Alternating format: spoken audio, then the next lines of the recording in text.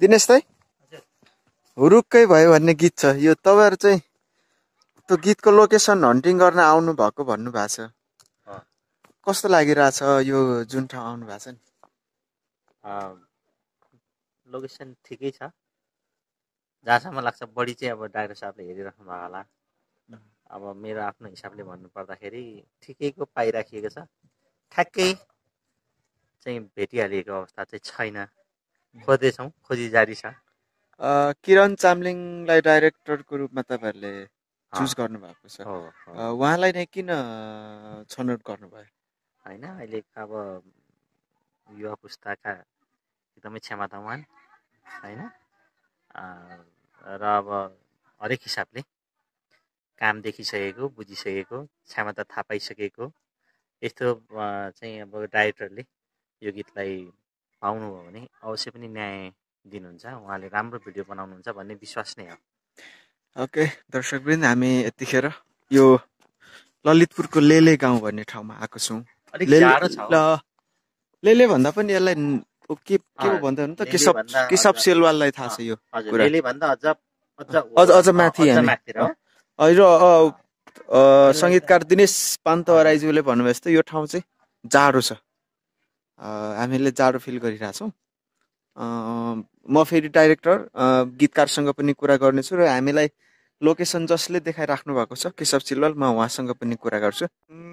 यो एउटा टिपिकल गाउँ हो भन्ने चाहिँ यो कचेटहरूबाट पनि हामी थाहा पाउँछौँ। यहाँ हामीसँग कवि केशव सिलवाल हुनुहुन्छ। त्रिभुवन युनिभर्सिटीको डिपार्टमेन्ट अफ सोसियोलोजीको उप प्राध्यापक पनि हुनुहुन्छ। हामी यो कुन ठाउँमा छौँ त अहिले? यो चाहिँ कोन्जसम गाउँपालिकाको वडा नम्बर चार भन्छ। यो नल्लु पहिला नल्लु गाविस थियो यो चाहिँ। र यो चाहिँ एकदम तामाङ बस्ती र पहिला अब एकदम गाउँ एकदम टिपिकल गाउँ उपत्यकाको नजिक भए पनि अलिक टिपिकल गाउँ भएको भएर साथीहरूले चाहिँ यो लोकेसन ठिक हुन्छ कि भनेर अहिले हन्ट गरिरहनु भएको छ। तपाईँले गाउँपालिकाको जुन नाम भन्नुभयो भने त्यो गाउँपालिकाको नामको मिनिङ चाहिँ के हुन्छ तामाङ भाषामा? कोन्जसम भनेको तिनवटा देवताको एउटै नाम होइन? चाहिँ कोन्जसम भन्छ। तामाङ भाषाको नाम हो यो चाहिँ। हस् धन्यवाद तपाईँलाई। यहाँ चाहिँ गीतको डाइरेक्टर र गीतकार अ, दुईजनाले अ, निकै मेहनत गरेर लोकेसन कुन फिट हुन्छ भनेर उहाँहरूले सिकिङ गरिराख्नु भएको छ। अ, यस मध्येमा म अहिले यो गीतको गीतकार हुनुहुन्छ राजन मुकारो। उहाँलाई सोध्छु कि यो ठाउँमा तपाईँहरूले यो सुटिङ गर्ने निर्णय कसरी गर्नुभयो राजन मुकरम दाई? सुटिङ गर्ने निर्णय त गरेको होइन। गर्ने ठाउँ भेटिन्छ कि भनेर आएको खासमा चाहिँ।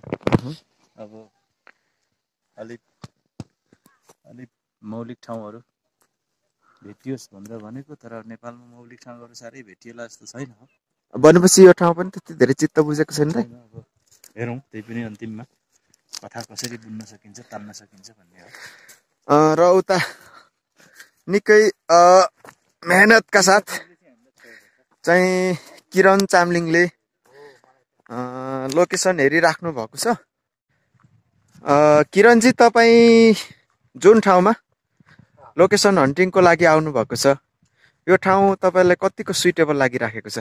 ठाउँ एकदमै राम्रै छ। अब फाइनल हुनु चाहिँ बाँकी छ हामी अझ- एक दुई ठाउँ चाहिँ हेर्छौँ होला। भनेको फाइनल हुने सम्भावना अझै पनि कम छ यहाँ? होइन लगभग लगभग यो ठाउँ चाहिँ यो यो यो एरियाहरू चाहिँ मलाई पनि एकदम ठिकै लाग्यो। गीत- पनि सोचौँ। गीतको स्टोरी अनुसार कतिको चाहिँ सम्भावना छ? होइन यो एकदमै सम्भावित ठाउँ लाग्यो मलाई यो लास्टको ठाउँ चाहिँ। किनभने अब यो जुन हामीले राम्रै छ। तपाईँले कस्तो खालको एक्ज्याक्ट ठाउँ चाहिँ खोज्नु भएको छ? ठाउँ त अब मलाई अझै पूर्वकै गाउँ खोजे हो। म पनि पूर्वकै भएको कारणले जुन ठाउँमा हुर्कियो बढियो। अब त्यता त्यस्तै त्यस्तै स्टोरी पनि आउँदो रहेछ के भएको?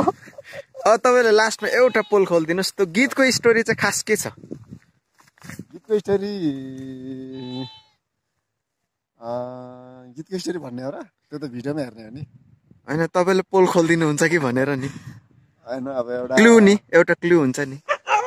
होइन एउटा यो हामी जस्तै एउटा म जस्तै एउटा गाउँले युवक हुन्छ। उसले चाहिँ अचाकले एउटा केटीले मन पराउँछ। र उसको पछि गर्छ त्यस्तै हो सिम्पल छ। ओके। एउटा गाउँकै स्टोरी हो।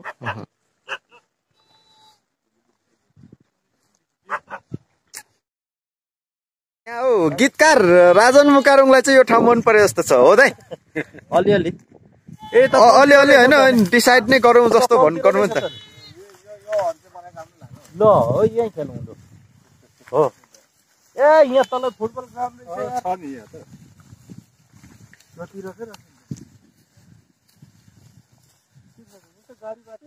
भनेपछि अब चाहिँ हन्टिङ हुन नलागे जस्तो छैन त। दाजुले मन पराउँदै हुनुहुन्छ भनेपछि।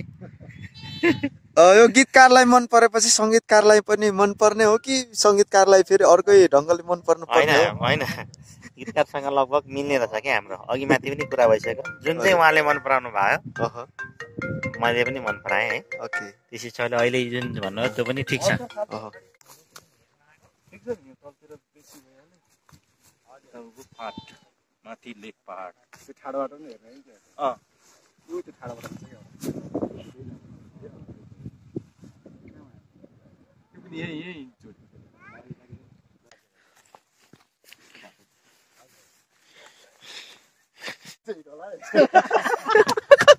के भन्नुभयो पछि गीतको भिडियो भन्दा यो अहिले लोकेसन हन्टिङको भिडियो चाहिँ हिटो लाग्छ